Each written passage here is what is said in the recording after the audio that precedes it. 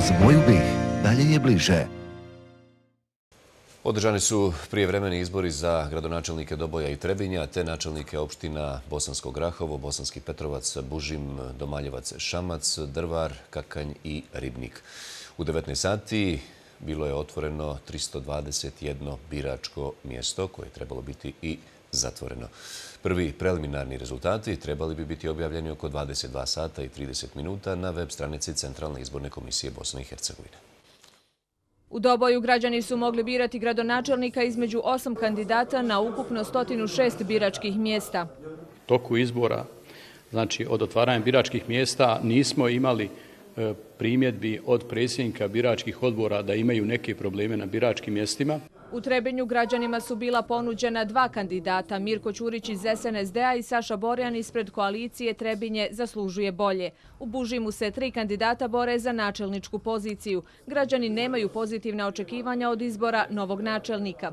Teško je na ovom slučaju u ovo vreme nešto dobro očekivati, kad znamo svi kako je stanje, kakav je okrug i šta se dešava.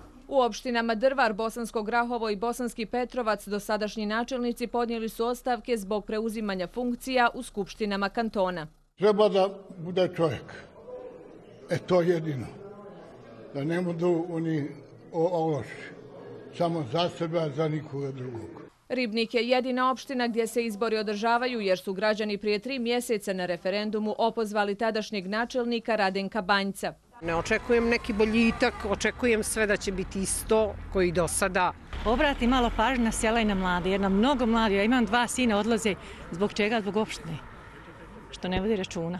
U opštini Domaljevac Šamac jedini kandidat za mjesto načelnika je Stjepan Piljić iz HDZ-a BiH. U ovoj opštini registrovano je 4601 birač. Pa trebamo na bolje da ide sve. Šta vam znam reći? Vidiš da smo već ostalo nas na prste pribrojiti u ulici. Da se otvore radna mjesta, da nam omladina ostaje kod kuće i da nam naše lijepo selo ne ostane prazno.